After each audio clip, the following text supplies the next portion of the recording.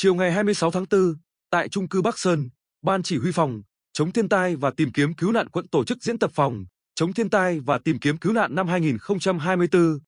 Tới dự có Thượng tá Bùi Văn Vượng Phó Tham mưu trưởng Bộ Chỉ huy Quân sự thành phố, đồng chí Nguyễn Trường Sơn Phó Bí thư quận ủy, Chủ tịch Ủy ban nhân dân quận, đồng chí Nguyễn Thị Thuyên Phó Chủ tịch Hội đồng nhân dân quận.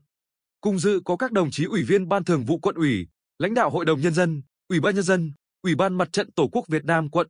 Tham dự có lãnh đạo các phòng, ban, đơn vị, đoàn thể, các phường thuộc quận. Tình huống giả định, do thời tiết nắng nóng kéo dài xảy ra mưa rông kèm xét đánh, gây cháy các thiết bị điện trong căn hộ 502, tầng 5 tòa nhà A2 trung cư Bắc Sơn. Khi xảy ra cháy, trong căn hộ không có ai, cửa bị khóa. Do phát hiện chậm, đám cháy lan sang toàn bộ căn hộ và phát triển nhanh ra khu vực tầng 5, tỏa nhiều khói, khí độc cùng nhiệt lượng lớn. Lực lượng cơ sở tổ chức chữa cháy ban đầu không hiệu quả. Trong tòa nhà vẫn còn nhiều người bị mắc kẹt.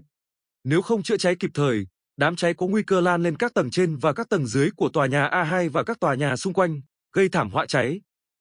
Ngay sau khi nhận được tin báo cháy, Ủy ban nhân dân phường Bắc Sơn đã điều động lực lượng công an, quân sự, dân phòng tham gia chữa cháy.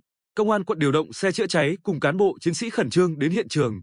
Nhận định tình hình cháy phức tạp, có khả năng cháy lan, cháy lớn và có người bị thương trong quá trình tham gia chữa cháy. Ủy ban nhân dân quận huy động thêm lực lượng các đơn vị quân đội và dân phòng các phường Bắc Sơn, Quán Chữ, Đông Hòa, Lãm Hà, công an thành phố điều động thêm lực lượng, phương tiện chuyên dùng đến chi viện.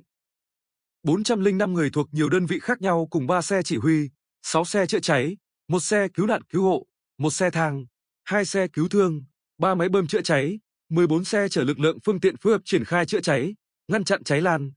Công an thành phố điều động xe thang và xe cứu nạn, cứu hộ đến hiện trường để cứu người mắc kẹt, triển khai cầu dây nghiêng, đai và cáng cứu nạn nhân bị thương trên các tầng cao.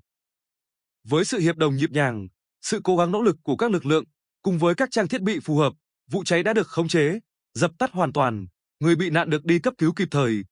Buổi diễn tập diễn ra thành công, đảm bảo các yêu cầu theo kế hoạch đề ra.